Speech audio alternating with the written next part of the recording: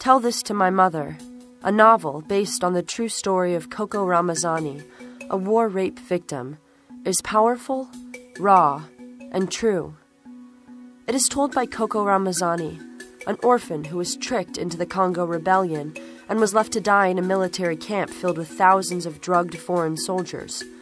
She escaped to America, where she is now fighting for her life.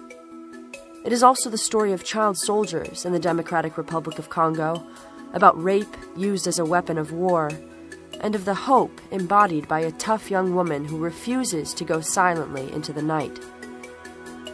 A tragic African story told by an African by way of African storytelling techniques.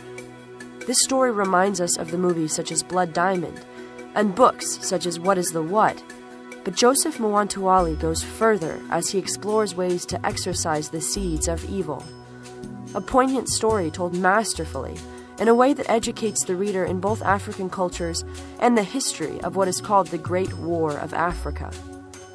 But at the end of the day, it is the voice of a young girl, speaking for all the women of Congo and coming across as an oracle.